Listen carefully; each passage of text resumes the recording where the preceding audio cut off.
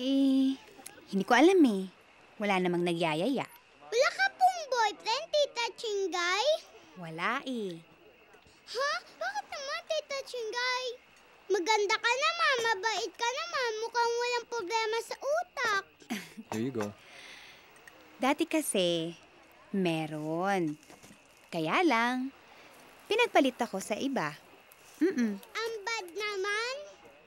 Dapat sa ganun talaga kinukuha ni Papa Jesus para bumait. Hmm? Don't worry, Tita Chingay. Papal-pray ko siya. Mm, thank you. Sobra naman. Baka naman bata pa lang. Immature. Baka naman na... nagsisisi na. Alam mo, Aaron, paglaki mo, dapat makontento ka sa isa.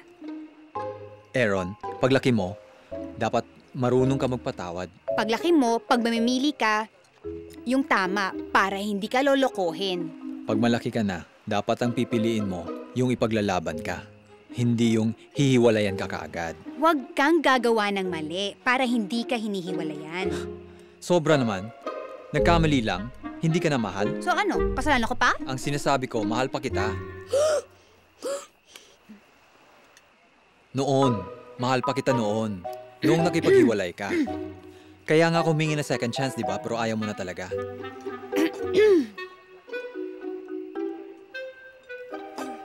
Chingay, Tita Chingay, bakit? are you okay? Chingay?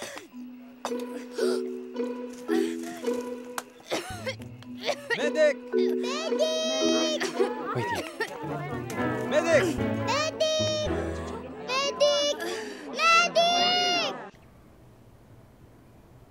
Nangyari, anak? Malamang ho allergies yan sa onions. Nasaan ba si Frank? Bumili po fruits! Aba dapat naman, dahil siya may kagagawa nito.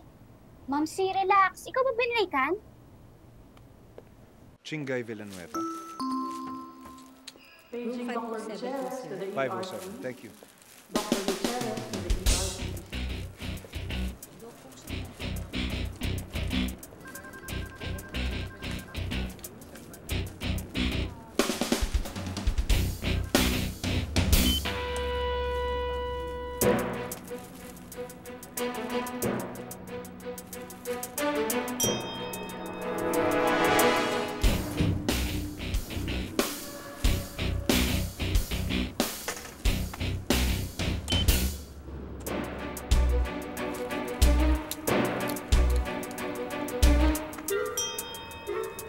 Thank you.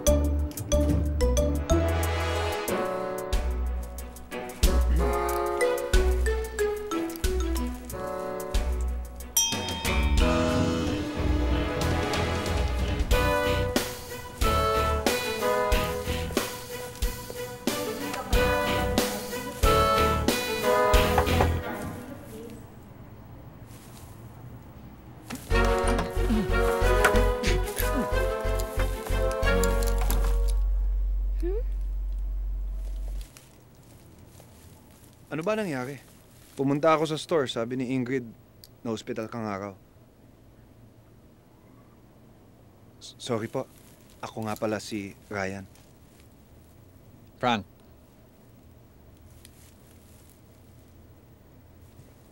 Frank?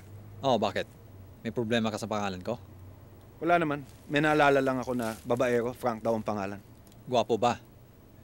Hmm, sakto lang. Hindi siya babaero. Hindi yun ang narinig ko. Ano ba ginagawa mo dito? Friend ko siya. Ako, ex-boyfriend niya. Akong kasama niya manood ng sine. Akong kasama niya maghanap ng bahay. Ako ang gusto niyang kasama. Ako ang minahal niya. Ex-boyfriend ka lang naman ah. Ikaw, kaibigan ka lang naman eh. Kaibigan mo lang ako? Ako, ex-boyfriend mo lang ako? Ako, gusto ko si Chingay. Ako past niya. Ako present. Ako future. Ako ang future. Ako ang nagluwal sa kanya. Magsitigil kayong dalawa. Ala, alagot. Hmm?